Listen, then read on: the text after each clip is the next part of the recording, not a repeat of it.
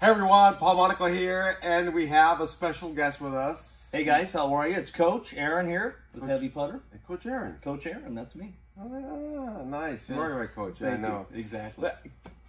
Everyone, we want to kind of share with you a little bit of history with the heavy putter. Yeah. And I think for me, it's been important to know a little bit about the, the legacy of Steve Boccieri, what he's done for the golf industry, and about some of the putters that we have in our hand, and Yeah. the origins of it and the beginning of it. So, Aaron, you've been with him the longest that I know of, and Right. you've been with him for you know many many years. Right. And just to, to start off with is that you know in our hand we have uh, the two original putters that were designed, which is the B series, which is a mallet, and then we have the A series, which is a blade version. Correct. And just before I forget, it's fascinating that Steve back then Mm-hmm. put the weights on the putter head. No one did that. Nobody did that. And then many, many years later, there were companies that put them on the sole There were good companies that still do. still do. Yeah. Right? Sure do. I mean, this guy was so ahead of his time Oh yeah. because he wanted to accomplish counterbalancing. Correct. Right? Right? So, Aaron, why don't you tell us a little bit about the merits of counterbalancing Okay. and how these two putter styles? I mean, I, I mean, where I think where I'm going with this Mm-hmm. is that typically there's only two styles of putters: a mallet and a blade. Correct. And they come in different various shapes of mallets, Oh, yeah. different various shapes of blades, right? All types. But essentially, they're the same Mm-hmm. um, product, but different aesthetics, Right. right? So I totally agree. So walk us through a little bit of the now what we have in our hand before I go, on, and then I'll leave you with this. Is that these are the original? These are the CNC milled, Yeah. These are the good. Yeah. These were the right? boys. And we only have X amount of these heads. Right. So once these came into production Mm-hmm. and they started to prove uh, successful in the marketplace, they went into then casting their products Right. because of demand. Right. So there are only limited amount of these milled heads. No, definitely. Right. So let's go through the counterbalancing and why these two came out, and a little bit of history with Steve and and the eccentric engineer I call him. So Yeah, no, He, it was. He had a great idea because a lot of the putters, most of them, when you balance them, will balance down here, really Mm-hmm. close to the head, which really creates a, a, ball and chain feel or loss of control. I think of the putter. Right. Oh, Um, good analogy. Yeah. So when he added weight, he seriously counterbalanced it. I mean, you can see when I balance this putter where it balances on my finger. It's almost halfway up the shaft. Okay. So what that does is help quiet the hands, the smaller muscles, because they just can't manipulate it. Your arms and shoulders take over, create a pendulum. Mm-hmm. Very simple. Uh, and what's nice about what he did with the weights too, as far as the mm-hmm. counterbalancing, obviously to counterbalance the weight in the handle, are you know for also heel or toe and heel hits. Mm-hmm. The head won't waver; it'll stay straight through or square. Right. Yeah, pre- pretty pretty neat stuff. Like I said, to do something like this back in what 2004 or 5 way ahead of his time. Way And ahead of it just time. feels so good, especially on faster greens too. You guys will love this. But somebody, I was on the phone with somebody yesterday, Yeah. and he, and they were from Canada. Okay, And okay. From, from Quebec, and he goes, "I got a putter."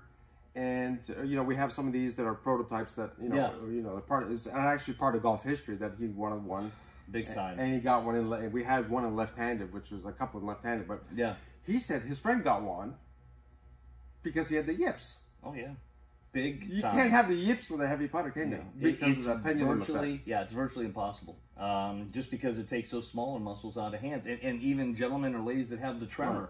you know, the little tremor, it will eliminate that also. Right. because of weight. But so, but when you make one of these putters, I mean, there's a lot that goes into making this putter. It's not Mm-hmm. Oh, just yeah. sticking a shaft into a head. No. Because, because you know, if you don't mind, Aaron, I'm Yeah, sorry sure. get, get a counter, get a weight counter weight. yeah, sure. I think I So, so people, so we can explain and a shaft, so we can just kind of explain um, what the process kind of looks like. Well, this is uh, one of the weights we use. It's not the heavy weight. Right. There's a Uh, shaft. There's a front of there. Yeah, yeah, we got, uh, in. So for what your we'll patience, do- guys. Yeah, guys. So this is a weight. You can see that's a stainless steel weight. That's about 200 grams. In the original putter, we have a 250 gram lead weight. Mm-hmm. So what I do is when I get the order for the length of the putter, I'll cut it with the variance of the top of the weight. So what I do is I also epoxy the weight down into the shaft.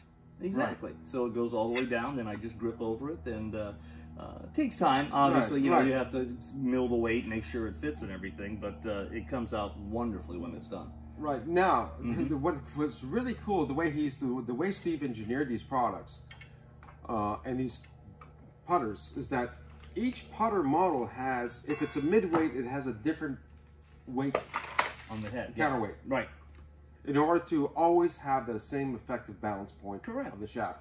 Is that Right. right? Right. That's exactly it. Because you don't want to lose the feel of the head. Right. You still want the feeling and, and, and you know Right. what you get from it. so. Exactly. So you can't put one of those heavy, heavy weights that you just had in your Yeah. hand in a different putter. No. In a different putter. It won't work right. No. It won't work right. yeah, you'll but have a that, that but that just blows my mind uh, Yeah. of how I mean uh, how an engineer's mind works and how Oh, he was yeah. able to um, take that idea Mm-hmm. and put it into a, a practical product for golfers Correct. and how to help golfers It's make more products. It's unbelievable. It's just it's just absolutely fascinating how one individual affected the golf industry. right.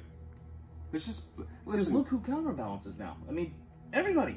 Yeah. They'll either do it in the grip, they'll do it somehow In in, the the shaft. yeah. But we are true counterbalancers because we use the real weight. And um, it's just part of us. It's part of our history. Right. It's just fascinating. But anyways, so we there the the two original models were the A series, which I have in my hand, Right. which is the again it's the blade model, right? Mhm, Correct. And then we have the B series, which is a mallet model. Yeah. Um, those were really, I mean, the aesthetics of it, the way that he designed them uh, aesthetically is just really incredible. Uh, and it's also functional too because I pick up my ball I use the B1 putter, so I can just pick up my ball with it. You know, when pick on the Mm-hmm. Yeah. ground, just scraping it up like that. Exactly, exactly. I mean, you know, right around he used the ball to just match up with the ball, so you have Mhm. good alignment. Right. It's so important. ju- almost like the remember the two ball putter. From Uh, yeah, I definitely kind of that, remember that, that. kind yeah. of that little thing that had Yeah. the two balls on it. yeah, right? the white. Yeah, definitely. Right, the white That was a good putter. It really was. Still being used today. All over Right. the place. But anyway, I- I think the message we're trying to say is that everybody who's watching this video is like, and, and Aaron, you've been part of this company for a long, long time. Mm. Right. I was fortunate enough to be part of this, uh, you know, about a year, and a, a year, just over a year ago, where we, Right. you know, we were able in the position to buy all the inventory. right. Um, but uh, the reemergence of this brand has been absolutely amazing. And, and if you can just share with them, uh, called uh, all the putters. These are all the orders for heavy putters, guys. Yeah. Never a slow day, guys. Never a slow day. It's Thank like, you. if you're if you've been on the fence about getting one, this is the time to get off Mm-hmm. the fence and, get in with everybody else. I mean, everybody else knows the merits and the benefits of having a heavy putter. Exactly. I mean, this is the original product. There's no uh, there's everything else to me is like a count, not counterfeit, but but duplicated. Yeah, it the original- It, really is. Yeah. And you know, just to reiterate, folks, th- these heads, like you said, they're limited. I mean, we're, we're, we're shorter on these than toilet paper right now. So get online and get one of these. Well, there's only X amount amount out. that were ever made. Yeah. yeah. So we That's don't, we it. don't have. I mean, this prototypes. I mean, we found something. Cole was going through the box yesterday. He was like, we got- we got these prototypes. I said, well, yeah, this is a piece of doubt. Like, I mean, I have one in my hand. Oh, with the actual- with, the actual markings on it, and, that, and that's the way we're delivering it to the cu- customer Yeah. because that is history. That's cool. Yeah, It's kind of. I mean, guys, if you want a piece of history, I mean, there's no better time to do it than at this very particular time because Yeah. you're not going to have this chance again. and you're gonna Um, flat out putt better. Yes. It's not a gimmick we're selling. This works. right. I, I think you should get one for history Yeah. and then one for use. I'm perfect. Right. Why not? Right. Like it's like art, you know. Sounds good. like what cars? Yeah. One for Yeah. a driver, and then you have your Sunday car. Exactly. I'm Right. with you Two different that. versions Yeah. of it. So, anything else you want to add? Um, not really. I mean, you covered a lot of it, uh, but again, a piece of history. It's going to be going away, and uh, I think it's important to take advantage of it. But I mean, this guy was like Steve Boccieri was a, was I mean like a mad scientist. Mm-hmm. I mean, never mind. I mean, there are people like Scotty Cameron which are amazing. Oh, yeah. But guys like Steve Boccieri, Mhm. I mean, who's are very well regarded in the golf industry as a mad kind of scientist to come Yeah. up with something like this. Right?